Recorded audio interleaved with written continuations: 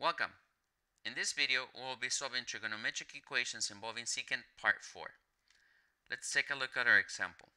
Solve the equation given below for theta greater than or equal to 0 and less than 2 pi. Here our equation is 2 is equal to secant of 2 theta plus pi over 6. So let's start off by uh, rewriting this as follows. Secant of 2 theta plus pi over 6 is equal to 2. Now let's introduce a new variable. So let alpha be the input here of 2 theta plus pi over 6.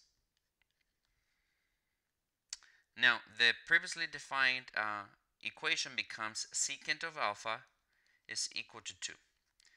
Rewriting this in terms of the definition of secant, we get the equivalent equation 1 over cosine of alpha is equal to 2. Why is that the case? Well, secant of alpha is simply the reciprocal of cosine, or in other words, 1 over cosine of alpha here. The next step is to take the uh, reciprocal both sides of the equation.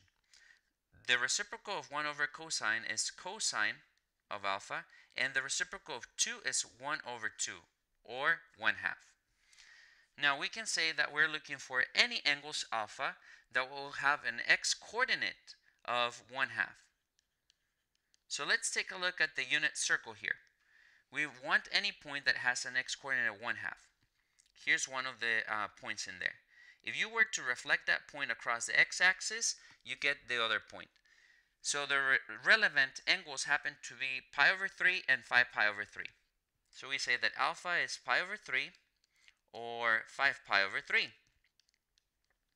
Now using the definition of alpha in terms of theta and these particular values we can solve for theta. So let's use the first value of alpha. Using alpha is equal to pi over 3 solve for theta. Now theta um, can be solved for based on how we define alpha. So we can say well alpha is equal to pi over 3 but this expression represents alpha. So let's go ahead and substitute that in. So we have 2 theta plus pi over 6 is equal to pi over 3. Now, in order for us to solve for theta, let's go ahead and subtract the pi over 6 first. So we get uh, that um, 2 theta is equal to pi over 3 minus pi over 6. Now we need the common denominator, so let's multiply the pi over 3 by 2 over 2. So we get that 2 theta is equal to 2 pi over 6 minus pi over 6 which means that that is equal to simply pi over 6. But keep in mind that that is 2 times theta. So we have 2 theta is equal to pi over 6. To get the theta by itself, let's go ahead and divide both sides by the 2. So we get uh, that theta is equal to pi over 12. And that is our first angle on that interval from 0 to 2 pi that will work as a solution here. To generate the next solution, we need to figure out what is the period for the originally defined function. Well, since we're dealing with secant here, we know that the period of secant happens to be 2 pi. But here, we're not just given secant of theta. We're given secant of 2 theta plus pi over 6. So to get the period of this function on the right, um, what we need to do is to divide this uh, period of 2 pi by the absolute value of the coefficient of theta, which happens to be 2 in this case. So we have 2 pi divided by the absolute value of 2, which is 2 pi divided by 2, which gives you a period of pi for this particular function. So going back to the angles, we say that the next angle theta happens to be pi over 12 plus the period of pi. Now, let's multiply that pi by 12 over 12 to get the same denominator. And you get 12 pi plus a pi becomes 13 pi. All of that over 12. So that's your next angle here. To get the other two angles that happen to be solutions to the equation on this um, particular interval from 0 to 2 pi, what we're going to do now is to use the other value for alpha. So using alpha being equal to 5 pi over 3, let's solve for theta. And how are we going to do that? Well, let's remember the definition of alpha. Alpha was defined to be 2 theta plus pi over 6. So we replace that or substitute that in. So we have 2 theta plus pi over 6 is equal to 5 pi over 3. Now our next step here will be to subtract the pi over 6 from both sides. That leads you to have uh, that 2 theta is equal to 5 pi over 3 minus pi over 6.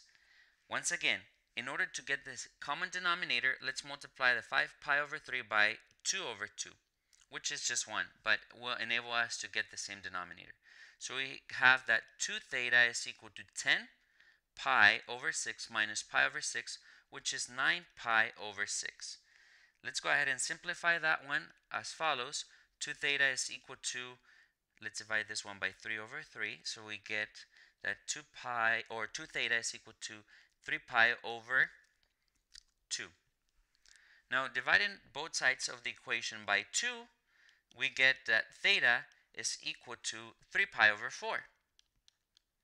And that is still on the interval between 0 and 2 pi, so we're good there. To get the next um, particular angle on that given interval, what we're going to do is to take this measure of 3 pi over 4 and let's add the period here, or the length of the period of pi. So let me multiply the pi by 4 over 4 to get the common denominator, and we get that theta is equal to 7 pi over 4 after you add the 3 pi over 4 plus the 4 pi over 4. And that is still an angle between 0 and 2 pi. So that gives you the four solutions to our particular equation. To conclude, we can say, therefore, that theta could be either um, the 13 pi over 12 or the previously stated pi over 12 or it could also be 7 pi over 4 or the 3 pi over 4. And that concludes um, this particular video on how to solve trigonometric equations involving secant part 4. Thank you for watching and have a wonderful day.